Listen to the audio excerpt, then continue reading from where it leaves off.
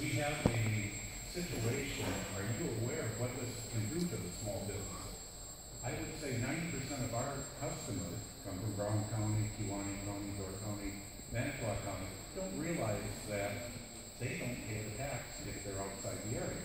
But it's the perception that people think that, okay, I'm not gonna go to Kewaunee County, I'm not gonna pay this extra thing, a wheel tax, uh, you know, and then it goes to other small businesses you know, we're in a restaurant recession They want People and not not the growth down. And then they have to start charging this. And we're looking to get people kooky on economy. And I think it's kicking us, you know, shooting us in the foot on this.